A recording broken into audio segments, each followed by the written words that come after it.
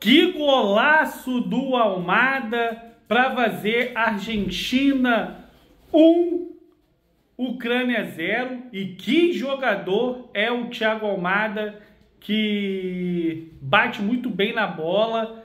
E que jogador é esse? 1 a 0 Argentina em cima da Ucrânia.